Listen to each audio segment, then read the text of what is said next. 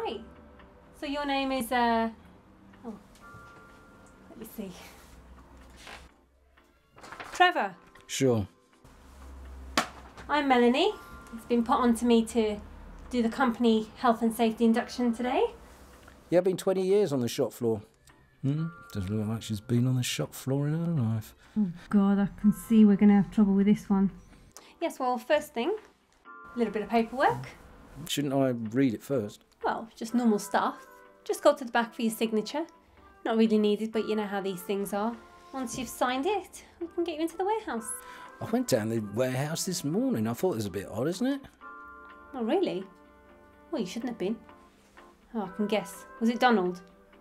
Doesn't know the rules. Getting on a bit. Blimey, you look younger than me. Um, I asked him about PPE. He said that you don't use it. Personal protection equipment is used here. But people tend not to bother with it. Is that legal? Oh, yes and no. Just sign the paper and we'll get you going right away. Get me going right away. I mean, what about training though? A lot of ground to cover, Trevor. And let's face it, we both don't want to be late for lunch.